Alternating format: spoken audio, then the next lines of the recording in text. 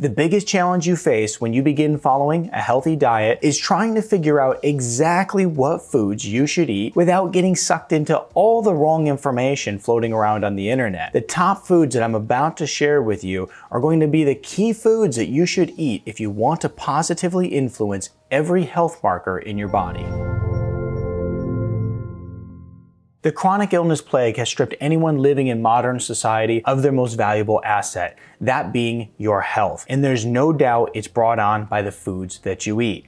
Modern society now represents the least healthy, most chronic disease ridden, most prescription drug ridden, most overweight, least physically fit, anxious, and depressed humans that have ever walked the earth. The good news is that there's a silver lining to all of this, and that is you're able to turn this around starting today by making better choices in the foods that you eat. Your body is infinitely intelligent and always striving for good health.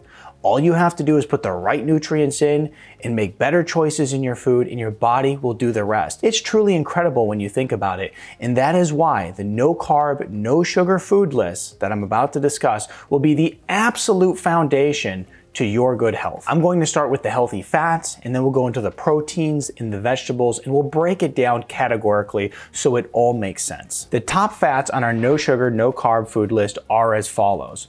The first is going to be coconut oil. Then we're looking at medium chain triglyceride oil. You could also use an MCT powder, which I prefer because it causes much less digestive upset and it's not quite as messy.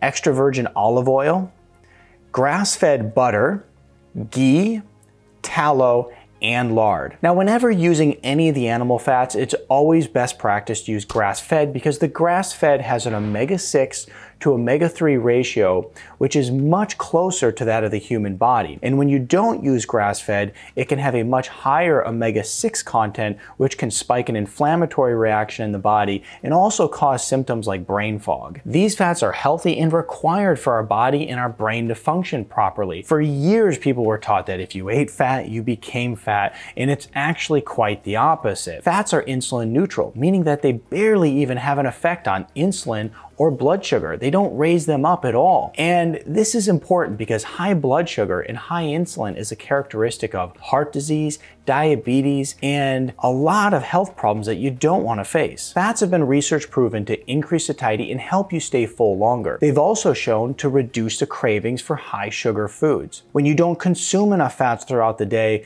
essentially you become hungry, and there's a good chance that you're going to fill that void with high carb, high sugar foods. So take some oils and use them on your salads, on your meats. Put MCTs in your coffee or even in your tea, and you'll immediately notice a huge change in the foods that you crave throughout the day. Now let's take a look at our proteins that are no carb, no sugar proteins.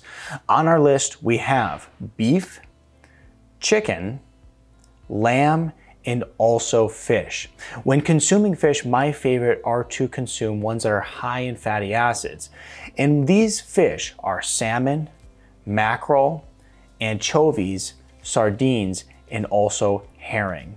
Now, like fat, protein also has very minimal effect on both your blood sugar and your insulin response. Now there's a really important concept that I want you to understand. Every food that you eat will have a physiological impact on your body. And that's why using the model of calories in versus calories out is totally broken. I mean, sure, you can stay skinny that way, but your health will suffer. I have patients who are skinny, but they have an autoimmune disorder. They're skinny, but they have an inflammatory condition or maybe even have cancer. Processed sugar-filled foods will create hormone imbalance and will create really really unhealthy lab markers. Eating these low carb, no sugar foods will create balance and health in your body. And this is why these no sugar, no carb foods are so important to your overall health. Now let's take a look at some no carb, no sugar drinks that you can consume. First of all, we'll start off with water, and that one's kind of obvious. But other ones that you may not know about are sparkling water, coffee, black tea, green tea, and apple cider vinegar. And it just so happens to be that these are all the same drinks that you can consume while fasting and it will not break your fast. So everything I just mentioned is 100% no carb, no sugar.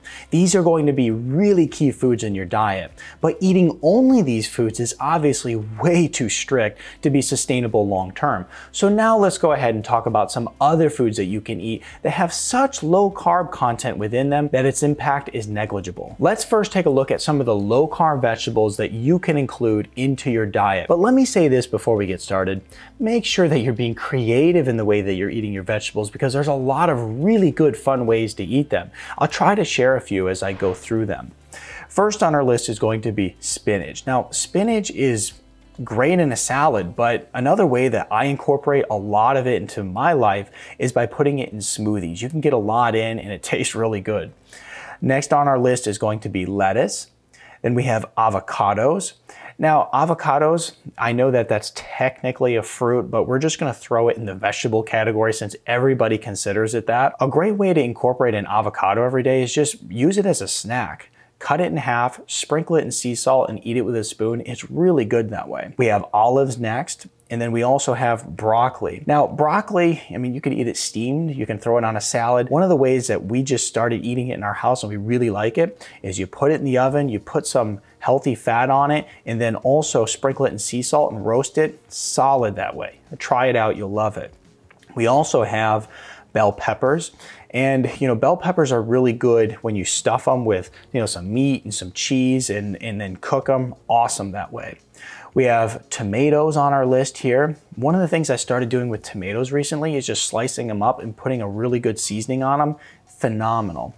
Now, we also are gonna go into zucchinis, okay? Zucchinis can be used for so many things. Growing up, I thought it was like the most worthless garden plant that ever existed because you got tons of them and everybody wanted to get rid of them.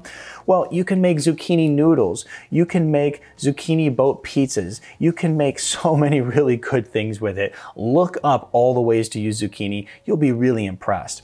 On our list next, we have mushrooms. You know, you can saute them, you can throw them in an omelet, you can use them as, you know, a topping for meat. So many ways to use them. Cauliflower. I mean, definitely a staple in our house. I mean, if it's not mashed cauliflower, it's using it for a pizza crust, you can rice it, you can do so many good things with it. And so don't ever um, ignore how useful that could actually be. Uh, cabbage is another big one. In our house, I like to make sauerkraut with it. It's, it's something that you can make very easily, inexpensive, and also it's a fermented food, so it has all that good benefit for your gut health.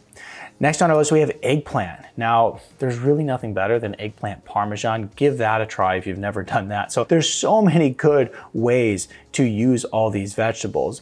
And loading up on vegetables is a really, really good way to help you keep your health in check. You need the nutrients from it, you need the fiber from it, and it's very good for you. Now, what about fruits, right? Fruits are unhealthy, they're full of sugar, and you should never eat them. Not at all. In fact, fruits are micronutrient dense and there's actually some low carb, low sugar fruits that are fine in moderation. These fruits include strawberries, blackberries, raspberries, and blueberries. They make a great healthy dessert and sometimes it's good just to have them around to take the edge off whenever you get a sweet craving when you're trying to eat healthy. As you start to really understand the foods that you can eat, you realize quickly that eating healthy is not as far out of reach as you once imagined that it was. Eating a no carb, no sugar diet is really important for improving and maintaining good health. Now let's take a look at a food that is really good for snacking, and that is nuts and seeds that are low in carbs. As we look to seeds, a few that we can have are chia seeds, flax seeds, pumpkin, and also hemp seeds. They're all great for snacks. Now, some nuts that you can have would be macadamia nuts, walnuts, and also pecans. They're all very low in carbs. Not saying that the other ones are unhealthy, it's just that these ones in particular are low in carbs. Now, whenever consuming any of these seeds and nuts, it's very important to make sure that you don't overdo it. It's easy to grab a bag and just eat a whole bunch of them all at once, but they're very burdensome to the gut. So whenever eating the nuts and seeds, go light and don't overdo it. Now, two foods that I have not mentioned yet, which are a huge staple on any low carb diet, are going to be be eggs and cheese. As we look at eggs, it's considered a perfect food. It has a good balance of amino acids, fats, and also vitamins in it. And cheese is the same. It's a balance of protein and fats, and it also has nutrients that are very beneficial to your health. Incorporating more of these foods that I just mentioned will 100% make you healthier. These are also staple foods if you're following the ketogenic diet or any low carb lifestyle. When transforming your diet from an unhealthy one to a healthy one, be sure to make lateral shifts. Don't restrict yourself from all the foods that you used to love. Find ways to incorporate them into your diet today, but find healthier alternatives. For instance, if you love pasta, well, ditch the wheat noodles, but use a zucchini noodle instead. If you like pizza, make a cauliflower crust keto pizza. It really is good. And if you're someone who likes soda, for instance, you can get a stevia sweetened soda, a erythritol sweetened soda, and you can enjoy it just the same. This is the great thing about eating healthy today that used to not exist. You can find pretty much a healthier alternative to every unhealthy food that you used to love. If you have cravings for sweets, use sweeteners like stevia, monk fruit, and also erythritol. They taste sweet in the mouth, but they don't raise your blood sugar or your insulin levels. Remember to focus on critical elements of good health, like exercise and good sleep. And remember that eating healthy is just one piece of the puzzle, but in order to see the full picture, we have to incorporate all the things that are required to make us healthy. Don't get frustrated and quit when you mess up your diet. Refocus, recalibrate, reset, and get back on track. Remember, this struggle is just all part of the journey. Don't expect your diet to become perfect overnight. Set reasonable expectations and remember this is an ongoing process. On Instagram recently, I was asked, at what age did you become healthy? Though I started in my early 20s, Health is a moving target, and I'm still working to improve my health today. As always, I'm Dr. Zyrowski, and it's been a pleasure educating you on how you can improve your health naturally. I highly recommend you watch this video next.